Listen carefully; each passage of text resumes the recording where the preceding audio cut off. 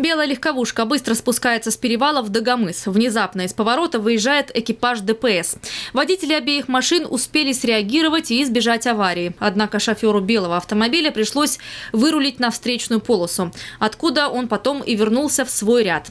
Все продолжили движение, как ни в чем не бывало. Тем не менее, блогеры комментируют ситуацию так. Экипаж ДПС выезжал в неположенном месте и без включенных спецсигналов.